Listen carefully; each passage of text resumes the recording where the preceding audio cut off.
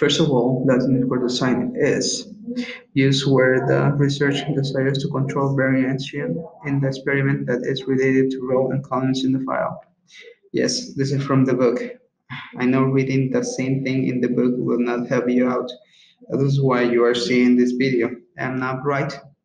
Latin square design is one of many tools in statics have. This tool is used when it's desired to control.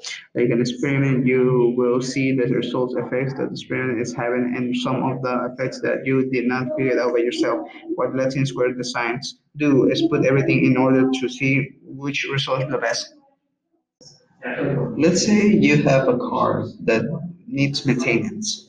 And you have four different mechanics. That you go to repair your car. Like you have four different mechanics to repair your, your car because two of them or one can be more closer to your location, two or one can of them can be more patient for me, I will want someone that can speak my home language, that is Spanish.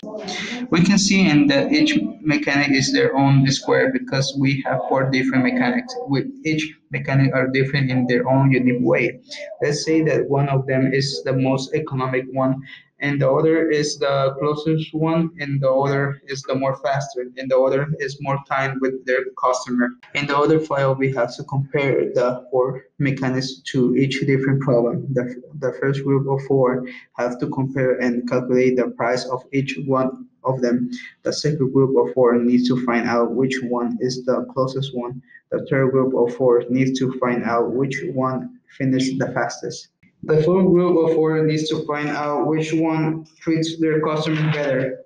Latin square is a table filled with n multiplied by n different symbols in such a way that each symbol occurs exactly once in each row and exactly once in each column and exactly once in each uh, diagonal. Latin square design helps a lot in the experiment of an engineer because this table are organized and can help us see so many factors for me, I think using these tables help us be more organized and have everything in order. The graph gives a better view of each problem and, and variance. Without this table, all the factors would get confusing and this problem will never be solved. We could never find a solution.